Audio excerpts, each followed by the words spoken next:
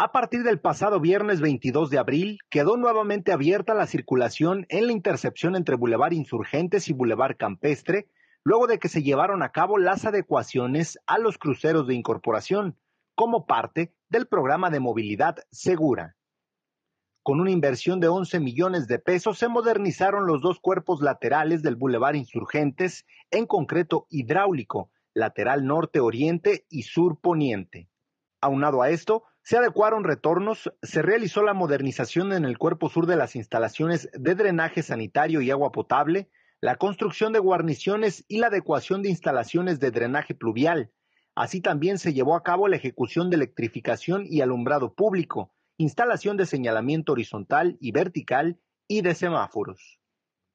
De acuerdo con información proporcionada por el gobierno municipal de León, con dicha obra se beneficiarán cerca de 15.000 conductores que transitan diariamente por la zona, pues se mejora la seguridad vial y se agilizan los recorridos de los ciudadanos.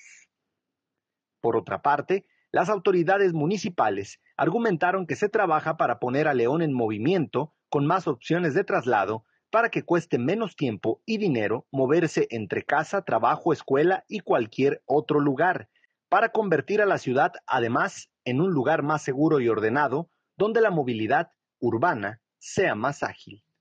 Luis Medel, Noti 13.